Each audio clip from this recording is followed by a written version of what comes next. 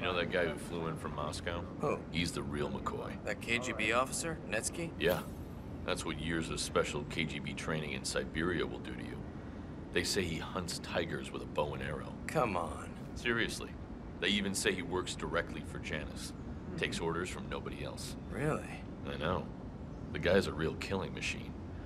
We're lucky he's on our team. I'll drink to that, comrade.